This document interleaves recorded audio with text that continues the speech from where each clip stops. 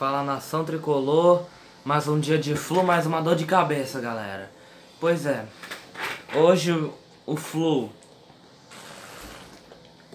encara vai vai jogar na competição que para variar de novo, nossa última chance de título vai encarar fora de casa um forte Deportivo Cuenca. Galera, eu estou projetando uma partida mais do que difícil. Eu, eu, eu analisei os pré-jogos e calculei que a chance de vitória do Deportivo Cuenca é de 90%. Como assim, João Pedro? Assim, galera, ele, pelo que eu vi, o Deportivo Cuenca, a principal característica dele é, o to, é a jogada pelos lados, esquerda e direita. A, a, resumindo, um jogo assim um tanto of, ofensivo. E ale, além disso, eles vão jogar com o time completo, sem nenhum suspenso e sem nenhum sem nenhum desfalque e sem nenhum pendurado ainda por cima. E, e também vão, jo vão jogar. Como é, que eu, como é que eu falo? A única desvantagem deles é que eles não vão jogar na casa deles, eles vão jogar no estádio da LDU. Entre boas recordações, voltamos lá, para variar. E quanto aos 10%, os outros 10% fica para a chance de vitória do Flu, que é bem improvável.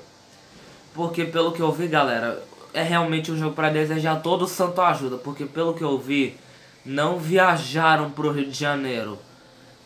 O Pedro por si só, que tá, vai fazer a cirurgia amanhã. Força, Pedro. Gilberto, que ainda sente dores. Pablo Diego, que sente uma dores no pubis. E, e só para piorar um pouquinho, Dodge, Brian Cabezas e Daniel também não viajaram. Só para deixar um pouquinho mais de dor de cabeça. Mas, mas nós temos um, des, um desfalque que na verdade é um reforço. Tipo, reforço com F maiúsculo. É o. É o Kaique. Como, pra quem estivesse perguntando, ué, por que, que o Kaique não vai jogar? Galera, é porque o Kaique já jogou a Copa Sul-Americana pelo Bahia.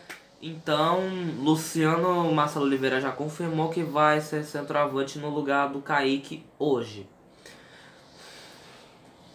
Mas, mas pelo que eu vi, como o Dodi tá fora, o Matheus Alessandro. Não, Marcelo Alessandro não.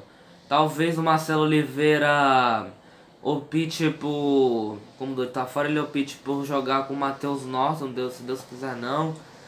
E, e se ele não jogar com o Matheus Norton, ele vai jogar com o Júnior Dutra na frente. Pois é, galera, quando a gente pensa que tem uma luz de esperança, vem o Marcelo Oliveira e ferra com tudo.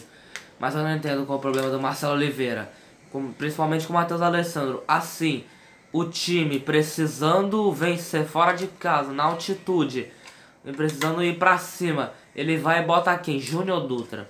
Pelo amor de Deus, Marcelo Oliveira. Não, com todo meu respeito, mas vai se ferrar, velho. Enfim, o Fluminense que deve... Ah, esqueci de falar uma coisa. Também, Ayrton Lucas também estava suspenso no último domingo. É, no último domingo. Viajou para Quito e volta para o velho ponto de titular. E enfim, o Fluminense que deve virar campo hoje é um Fluminense com Júlio César no gol. Léo na lateral direita. Digão e Gum na zaga. E Ayrton Lucas na esquerda.